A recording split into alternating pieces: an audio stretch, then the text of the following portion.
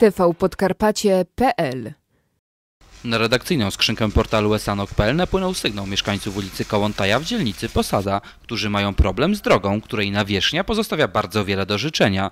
Ulica Kołątaja, pomimo że ulokowana jest równolegle do głównej drogi, czyli ulicy Lipińskiego, jest użytkowana nie tylko przez mieszkańców, lecz także przez pacjentów tamtejszej przychodni. W związku z tym, z zapytaniem o możliwość remontu drogi, zwróciliśmy się do przewodniczącego Komisji Infrastruktury Miejskiej. No muszę przyznać, że mają rację, jest to historyczna droga w fatalnym stanie technicznym.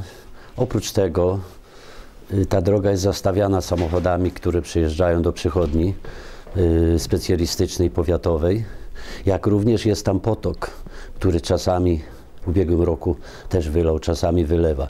Faktycznie ulica Kołątaja wymaga szeregu inwestycji, jednak póki co problem z nawierzchnią wydaje się być kluczowy, a i tutaj zbyt wiele optymizmu nie ma. W tym roku szczególnie się, szczególnym nie da się za wiele zrobić, tylko się połata największe ubytki. Natomiast w przyszłości ta droga musi być poddana generalnemu remontowi. Oby tylko na ten remont mieszkańcy i użytkownicy drogi nie musieli czekać do następnej dekady.